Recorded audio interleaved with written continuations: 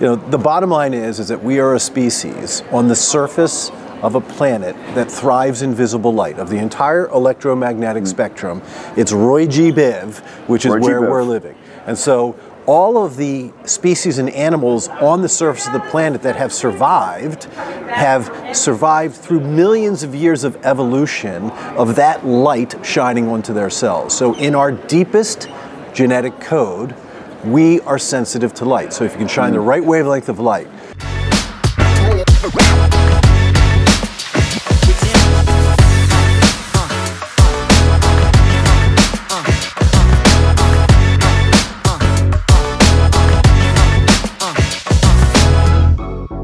All right, guys.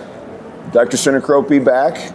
We are at the Society for, for Brain Mapping, which I'll tell you, we were just talking about this with my good friend, Dr. Scott Sigman, aka The Fro.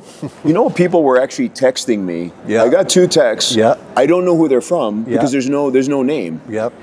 I don't even know if they know me. They texted me. They said, "Make sure you say hi to the fro." I'm like, I don't even know who they are. I was, I'm afraid to text them back. I'm like, is this, was this you? Did you put up? This? No, no, okay. look, you got, man, they follow the fro, bro. They found the fro, man. They follow the fro. Follow the fro. So, Dr. Scott Sigman, for those of you that don't know, because we did the home and away podcast already, and those were both like those were some of the most fun, Awesome. you know, episodes that, that that we did. We should we got to rerun those things. But um, for those of you that don't know who Dr. Scott Sigman is, um, he is the evangelist for laser therapy. He is the founder of Ortho Laser, and he's so much more. Not to mention, he's a renowned orthopedic surgeon. Isn't it funny once you start getting known as like the light guy? It's like, am I? A, you know, it's like, am I an ortho surgeon? Am I the light? It's just, but Well, but my, my wife's like, all right, what meeting are you going to? The Society for Brain Mapping? now She's like, what, are- what are you doing there as an orthopedic surgeon for brain mapping? Well, I dragged you. I, I, No, I, I dragged course, you over here, and I and I and I appreciate you. Uh, you and I appreciate you coming, and and I know you were kind of blown away because you just there was another photobiomodulation talk. Yeah, you Dr. Henderson just gave an amazing talk on long COVID, and it was you know really interesting because he's using laser directly to the brain, and then I'm raising my hand and I'm saying, Dr. Henderson, you know, go over the antecubital vein and artery because then you can literally get the entire blood uh, stream activated with laser, which then goes to the brain, it goes to the lungs, it goes to you know everywhere where there can potentially be some long COVID symptoms. So we had a nice conversation there. It's So- awesome. Did he tell you? Did he tell you his his cuff experiment? Oh yeah, he shared the cuff experiment. And then he also talked about nosocomial, uh, not the taste and, Oh, yeah. and smell. There's a randomized controlled trial out of Brazil that was shown at PBM in 2024 for London, which showed amazing results. So not surprising he's seeing good results. I literally, no, no joke. I was at a gala two weeks ago. I've met them before, but I didn't know that they were coming to our clinics to, to have light therapy. And this this woman, she comes up to me and gives me a big hug, and I said, "Oh, okay." And she's like, "Thank you. I got my smell back." Yeah. She's like, "I hadn't been able to smell for a long time." She's like, "Your clinic, you you, you guys saved us." And, and the power of light, it, it's it's just it's hard to describe. I went from a complete non-believer to I can't stop talking about this stuff because it's such a simple solution for so many, you know, so many problems. And we've talked about this, you know, ad nauseum. And it, it's conferences like like this that allow us to try to get this the, the word out that this stuff is is is real. So do you want to tell them your analogy that I still I and I, I always credit you. I said this is my good friend Scott Sigman. Yeah. I said it. I said it yesterday. The, the, your thing about photosynthesis. Yeah. People are like, "That's brilliant." And I said, "It's not me. It's not me. It's, it's my good friend Dr. Sigman." Tell tell them how you get in those in those dinner, in, you know, like in those cocktail parties where we're telling our buddies about light, and they're like, "Man, are you you know, are you are you too close to the anesthesia machine, like kind of thing." You're, Yeah, you're- you know. So, So, do you believe in photosynthesis? The first question I always ask, and everybody raises their hand. I'm like, yeah, of course I believe in photosynthesis. The light shines down, the plants grow, carbon dioxide goes away, oxygen comes out. We eat the plants, and other species, you know, uh, um, have sustenance, and they get uh, as well. So, you know, the bottom line is, is that we are a species on the surface of a planet that thrives in visible light of the entire electromagnetic spectrum. It's Roy G. Biv, which is Roy where we're living. And so all of the species and animals on the surface of the planet that have survived have survived through millions of years of evolution of that light shining onto their cells. So, in our deepest genetic code, we are sensitive to light. So, if you can shine the right wavelength of light.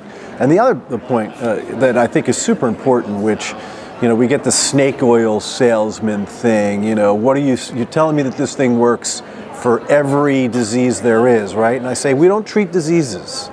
With light therapy, what we're doing yes. is we're treating cellular metabolism.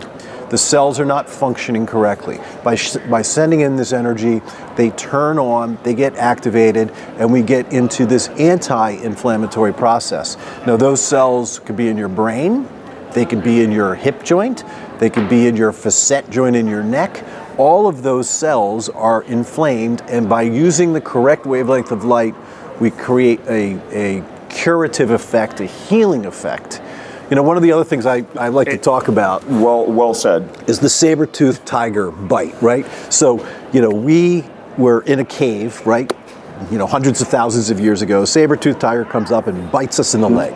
And so we have this shock and awe response when something like that happens, right? Because we got to survive, right? Mm-hmm. So, so what happens is that we stop the bleeding, epinephrine, yeah. all of these chemically mediated things, so that that bite doesn't make you lose your leg, right? And then that lasts for about three days, and then after three days, okay, now you've got two paths. You can go into the acute reparative mm-hmm. path, or you can go into the chronic inflammatory pathway. And what laser and photobiomodulation does is it takes us down the reparative pathway Correct. by using the laser. And so, what is now the modern day uh, saber-tooth tiger bite is a lumbar spine fusion. It is a knee replacement, right? And so we then use laser post-operatively. Yeah, because we're creating an injury. Yes. To, in order to do our healing as surgeons, you have to create an injury. Yes. You can't put that knee replacement in there, no matter how genteel people think they are, you're still creating an injury. Same thing with lumbar fusion. Even with minimally invasive surgery, you're still creating, even there, the little incisions, but you're still, still creating a trauma that happens. A trauma. The results post-operatively, like, and, and, my partners are finally starting to so i had a partner come here and, and they really literally are starting to see the light. They're like this is interesting. So for example we operate on people that are not always the healthiest, especially in trauma. They're, they're, not, they're not well, so they have surgery, or people that are obese, or people that are not metabolically, but, but they're deteriorating, so they need surgery, right? If somebody has a foot drop, you're not like, well, we're, not, we're going to get you metabolically fine. We're going to let your, you know, your, your nerve die, but, but we're going to get you healthier, so we're happier, you know, after surgery it's incredible the power of the laser on those tissues post-op for wound healing for pain management, for you know, for for for not for the wounds not draining, especially in those obese patients, because we get a lot of wound drainage. Same thing with those the, the hip guys. They do these these big whacks on these people that are 375 pounds because they have a hip fracture. Those wounds drain. You know what I've what experience I've had of draining wounds? We've lasered them a couple sessions, done. Stop. We, we laser every single post-operative patient that agrees to be a part of it because, as I was talking about, it's it's the cells that are that are mm. affected, right? So when you do surgery, you, you bang up the nerves, right? You got to cut these nerves as you're going yep. in and creating an issue. So the laser helps to stimulate a healing response right. to the nerves. It brings in the fibroblasts, which are the healing cells of the body, which create a collagen response. And then we have increased blood flow to the area, which brings in, again, yep. a healing response. And we can actually um, assay the exact you know, proteins that are responsible for angiogenesis or blood flow or neurogenesis for the nerve. So th these are well-established facts within the basic science literature, and now we're finally seeing this within the clinical literature as well. We're about ready to embark on a study with OrthoLaser where we're going to take a look at post-operative uh, results with total knee replacement. We're going to uh, do two active cohorts. One's going to be lasered, one's not, uh, and we're going to be able to demonstrate. Um, range know, of motion is going to be much better in the laser. I know. Isn't yes. it funny? I, you don't see. Here's the deal. I don't mean to cut. I'll go back yeah. to. It. I the, thing that's frustrating to me, especially about like the laser therapy, you just gave me a, your study that you're doing and you're about to launch it. But the truth is, we both know, we both know We know the outcome before you do the study. Yeah. I, I know the outcome. We treat all these post-operative ACLs that now people are starting to refer us because their range of motion, they're swelling. I just prevent, presented, uh, you know, at, a, at another thing. I mean, you- you're talking about like the amount of swelling, even after four or five days post-op, if you laser them every single day, they almost look normal. They just have stitches there. You see this, dude? That's my two level. I, I follow the fro on social. We, we followed along with his, uh, you know, with with his. my surgery. So yeah, I lasered literally every day. By the way, postoperatively. what a testament to what we do, spine surgeons, that he, as an orthopedic surgeon, was very comfortable going ahead and, and having his disc replacements. And I'm sure, and you're doing great. Dude, by the I way, am I am seven weeks literally to the day. I have functional range of motion and movement, less pain than I had previously. My neuro symptoms are essentially completely resolved. So, you know, super happy. We just actually we're in the midst of, of launching the second phase of our post-operative survey that we use through our ortho laser centers across the country. We have a 96% satisfaction rate from our patients who are undergoing laser treatment post-op. post-operatively. And I post, and you saw that. I put that on my. I, I right away. I ran and put that on my social you did, media. yes. Because it's interesting. th those of us that are that are in this field. And now, now, so let's think about this again. I know we talked about this on both of our. Think about this. You have two orthopedic guys. You, you, you you're very busy practices. And we're not here. I'm not saying Dr. Sick. Oh, you, you know your results are amazing in shoulders and this and that. That's we we get that. We know that we have to be technically good and helping. We're here talking about how dramatically our results have changed because of this technology. It's, it's just fascinating. I mean, we, we just need the, the we need just more nodes. We need to start replicating yeah, know, and, ourselves. And and then also, I mean, I think that, that our patients are the ones that are doing the best talking for us, right? The results that they have, the way that they can share it across. It's a digital world, right? And so even my mother Judy, at the age of 85, Google's her doctor before she's going to go and uh, and get seen. So I think that the way in which people are communicating in their success stories with the laser is really awesome. And again, I'm going to second everything you said. The the success rate, you know, yes, people are skeptical. Even my own patients are skeptical. So uh, we haven't gotten to the point now where, where we're like kind of pre-signing them up yet. It's just more like the people that are having pain and, and we're sending them over. Sometimes I have to convince them to go. I'm like, you, can you just one time. Just try it and just see. And then they're they're, they're pretty blown away with the results. So getting over the skepticism but word of mouth has been was has been absolutely the best thing. Like our athletes like our athlete population has grown dramatically. Why? Yeah. because a couple of athletes come in they get a quick healing they're back on the court. Next thing you know that entire basketball team is coming for any injury they have. That is so much more effective than trying to like for example go out on google and tell people about something they've never heard of before i might as well tell them we're sprinkling herbs on on you know on their injury right because it's the same you're trying to you- you're trying to educate on something there's nothing there all the commercials are skyrizi and this and that No- nothing is about light yeah, and some, you know, and then some. coming. It's coming. We're- we're breaking well, through. I mean, you're you're at the forefront of this. I mean, you're you're doing. I mean, it's amazing. I mean, my, my talk today is uh, photobiomodulation therapy in mainstream healthcare, right? And so, where's it being used other than just in orthopedics? So, you know, for example, for brain injuries, there was a great talk, you know, this morning on brain injury. It can be used for macular degeneration, for vision, uh, where it's being used in the world for cancer, for for scar tissue after ENT surgery, or for breast surgery. Parkinson's, you know, getting the brain stem, they can actually reduce, you know, some of the symptoms that we're seeing from Parkinson's. So it's really amazing. You know, it's been a long seven years for me, you know, to where we started this conversation and the rotten tomatoes that were thrown at every podium. But but now the clinical acceptance, the patient acceptance is, is truly growing and we're really excited about the opportunity. Well, I will tell you, thank you for everything you've done because it's because of people like you that even though when I started going down this path, yeah, there were some th- tomatoes thrown, and it's usually from our own. Yep. It's usually oh, yeah. from our own. Oh yeah, your right? partners, your local. They're like, "What are you, what are you right? doing? I That- get that's it. gonna look Been- weird." Been, you there, know, done like, what do you mean? Oh, Yep. oh, that's not that's not what we do. That's like gonna like that's gonna like water down our brand. I'm like, no, it's good. But but they're they people have coming around, you know, big time. But the reason I haven't had as many tomatoes thrown at me, or because of people like you that have paved the way. Right when you clean all the tomatoes off of yourself, and now you're nice and squeaky clean, and people are like, "The fro, he's the laser guy."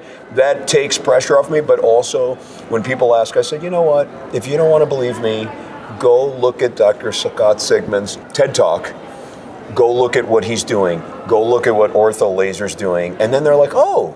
Other people, not just you, doctor. It's not. It's not just you. And- you're, and I'm doing nutty- the exact nutty same thing as well. So Yeah. for me, it's very important now that our, our leading physicians and surgeons that are part of the ortho laser family now, we have them do uh, most of the talking because you know people oh it's just that Sigman talking again but no there are established well-respected surgeons around the country who have been using the techniques that we've been using to help their patients and so that just really amplifies the message for us really nicely Yeah, I mean, I, we, you know, we're we're obviously excited about these technologies. It's nice. So I'm really hoping that we have you here at the Society for Brain Mapping as as a mainstay because we really want to build this concept of photobiomodulation and I'm not going to call it alternative treatment. It's not an alternative treatment. It is the main, you know, it is the mainstream treatment and then build that around other, you know, modalities that people are doing that can work in conjunction. And the nice thing I, I like about this particular, you know, society, and again, so thank you so much. I know your talk is coming up here. He, I, I'm holding him back probably from his talk, so they probably already changed the order.